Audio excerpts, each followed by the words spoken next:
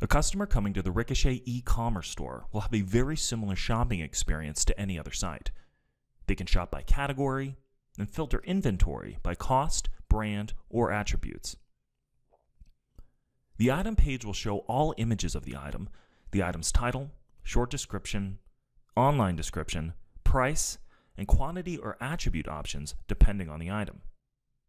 Now, once a customer is done shopping, they can go to the shopping cart button to check out.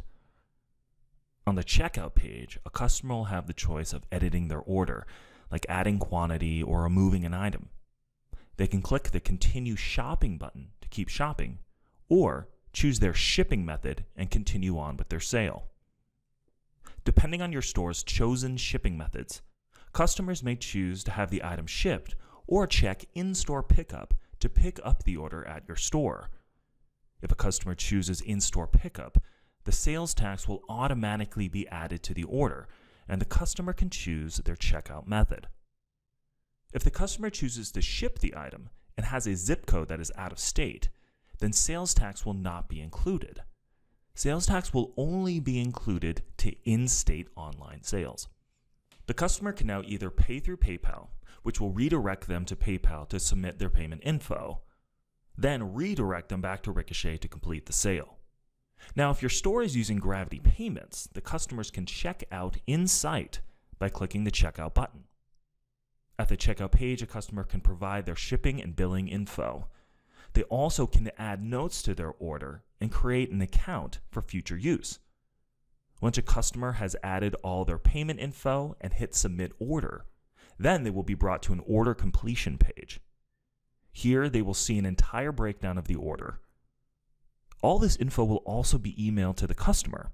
And if they chose to sign up for our account, then they will also receive an email to have them set their own password.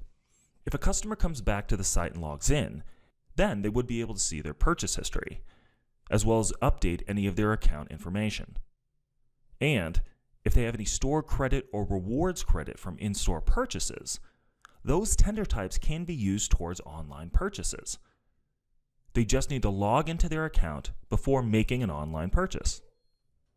This feature is also available for your consigners or vendors.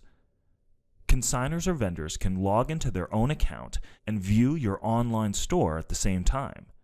They can even use their consigner credit towards their sales. Now, one thing to note is that the ability to use consigner credit, rewards, or store credit, you do need to be using Gravity payments to accept credit cards. This will also allow you to utilize Gravity's gift card feature, and gift cards can also be used towards online purchases.